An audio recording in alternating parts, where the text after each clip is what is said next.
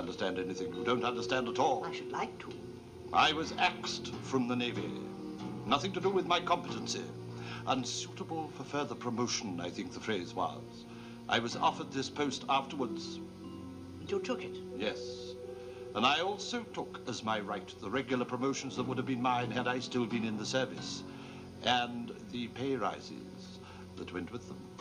I may be wearing the uniform of a commander, but I am, in fact, an admiral of the fleet. I think you've heard enough, Chief Inspector.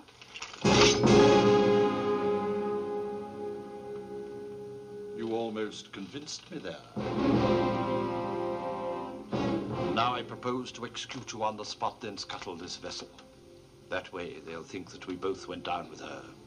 And by the time the truth comes out, if it ever does, I shall be enjoying a well-earned retirement a long way from here. You won't find it as easy as you think. I warn you, I was ladies' national fencing champion in 1931. And in 1931, madam, I was fencing champion of the Yangtze Flotilla.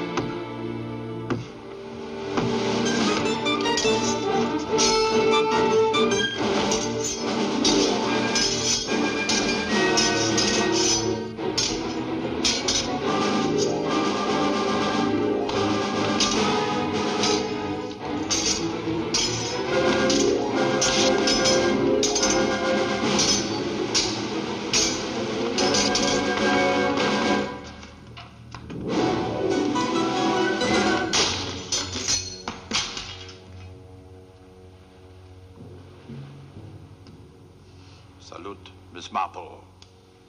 And now I'm afraid the coup de grace. Mr. Stringer, Not this time, Miss Marple. touche, Mr. Stringer. Well done. Well done. I was so worried I just couldn't stay away. My goodness, the Chief Inspector, quick. Allow me. Are you all right? I was so concerned about you.